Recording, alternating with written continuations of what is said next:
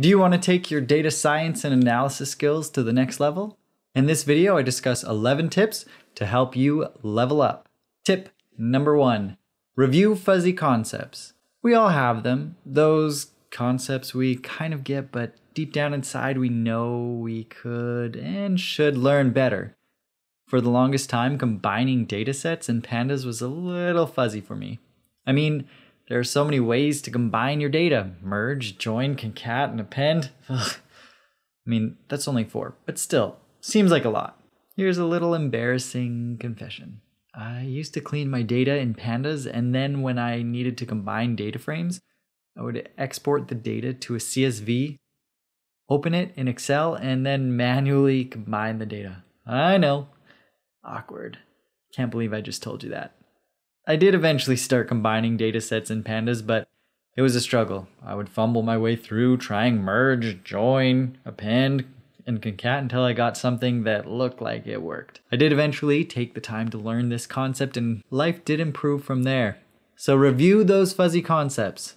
Tip number two get fresh data. Practicing your skills on some new data you've never used before can be a good way to reinforce your abilities and showcase some of those areas you might not be as strong in.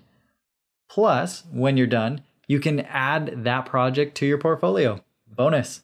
The real question is where do you find data to practice on?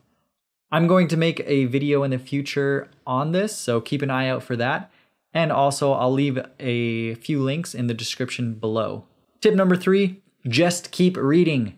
This tip comes from my good friend Dory just keep swimming. I mean, reading. This is perhaps the best way to shine light on what we don't know, because how are we supposed to know what we don't know if we don't know that we don't know it? It doesn't even have to be too technical, the things that we're reading. It can be blog posts online, those can be a great source of knowledge.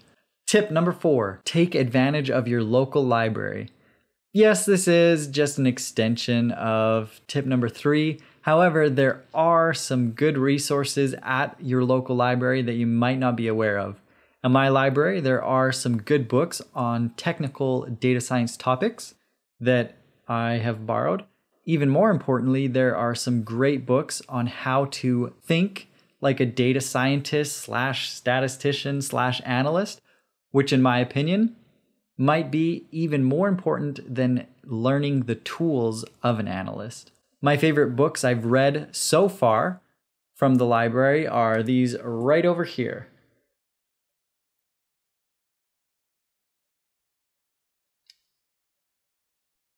If your library doesn't have any of these books, oftentimes libraries will allow you to make book requests and they will order it for you. So, bonus. Tip number five listen. Listen to podcasts. This is a great way to learn the culture of data science. The best part of this is you can listen to them while you are driving, washing dishes, shoveling snow, gardening, working out, etc. Links to my favorite podcasts below. If you're finding any value in these tips so far, please let me know by giving me a thumbs up or a like and commenting. I'd really appreciate it. Tip number six answer questions. The first time I answered someone else's data science question, it was a rush. Answering questions can be a good way to build confidence, reinforce learning, and deepen your understanding of that concept. All right, that sounds good, but where do you find questions to answer? Stack Overflow, baby. People are asking questions on there literally every day. Another good place to find questions is the comment section of YouTube. But what if you can't answer those questions?